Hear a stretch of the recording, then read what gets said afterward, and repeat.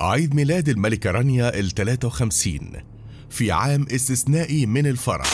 بيصادف اليوم 31 أغسطس عيد ميلاد الملكة رانيا العبد الله عقيلة الملك عبد الله الثاني بن الحسين حاكم المملكة الأردنية الهاشمية.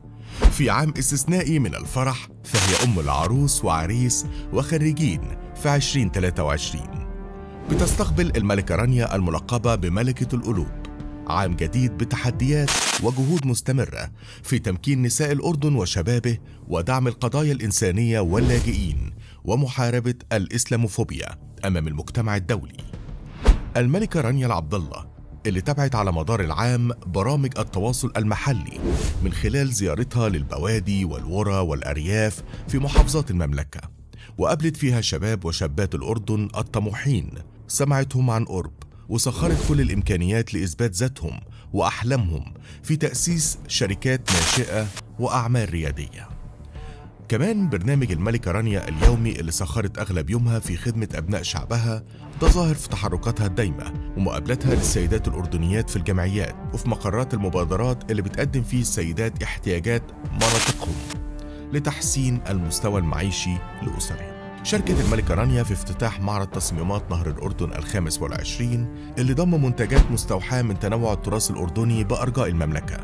وما ننساش نشاطها طبعا للسنة الثانية على التوالي اللي بتهتم ملكة الإنسانية فيه بإرسال بعثة لأداء مناسك العمرة واللي بتضم أكثر من 500 سيدة من محافظات المملكة من أسر الشهداء والمتقاعدات والناشطات في خدمة المجتمع ومن المستفيدات من الجمعيات الخيرية والتعاونية ومؤسسات المجتمع المدني.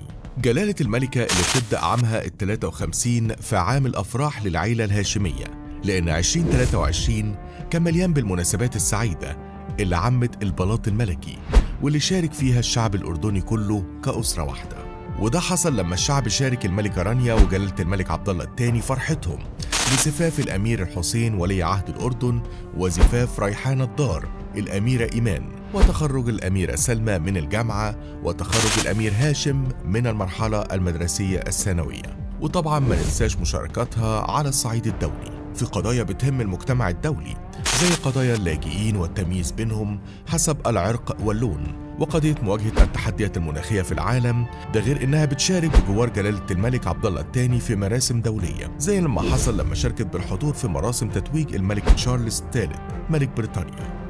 في يوم ميلاد الملكة اللي دايما بتبدأ كلامها مع أبناء شعبها وتقول أنا بينكم أخت وابنة وأم قبل أن أكون ملكة. أنتم أسرتي وأنا أعيش من أجل أسرتنا الأردنية الواحدة.